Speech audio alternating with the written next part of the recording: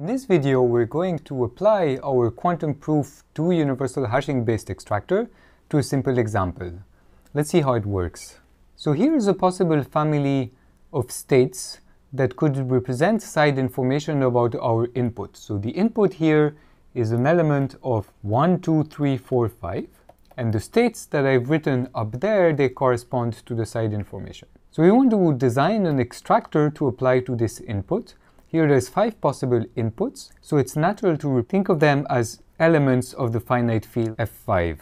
In this case, we need to design a family of two universal hash functions from F5 to the output of the extractor. And we saw an example of such a family. We can take the set of all FAB, which map x to AX plus B, where A and B are elements of F5.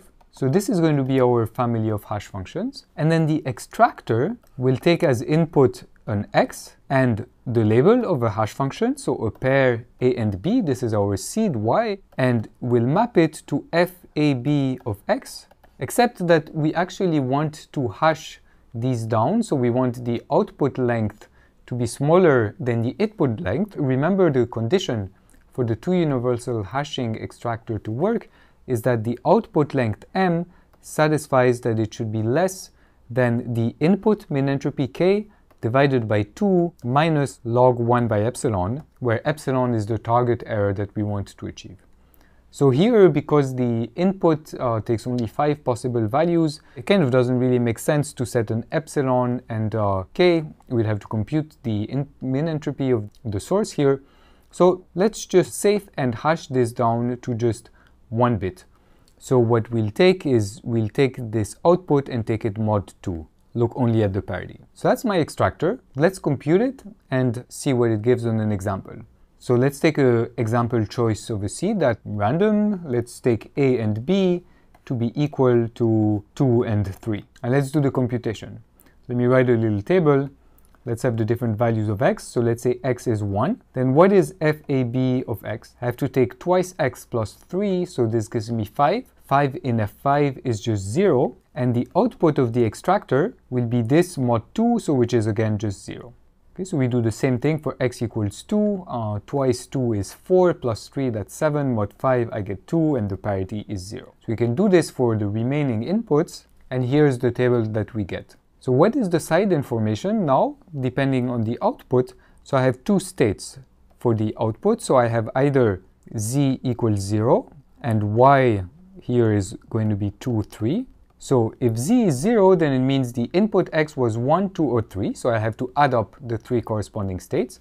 So I'll get a fifth of 0, 0, plus a fifth of 1, 1, plus a tenth of the identity. And I get one fifth of the identity plus one tenth of the identity, so that's three tenth identity. And if I look at z equals 1, the same seed, then what I get is that a fifth times fifth plus plus a fifth minus, so we get 2 tenth identity.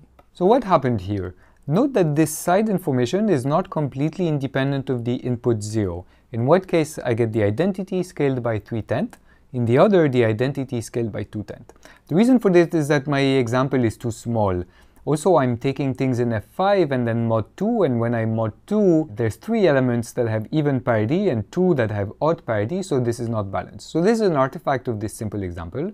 What's more important is that you see that in both cases, the matrix became the identity matrix. So there is some mixing that has happened by applying this extractor. And you can check different seeds and you'll see a different kind of mixing. So if my example was not such a finite size, what you'd have been able to see is that the output looks pretty much uniform even though the input was not uniform at all, right? So I haven't computed the min entropy for you. You can do it as an exercise, but you'll see that, of course, this has significant side information about the input x, right? So my source is far from having full min entropy.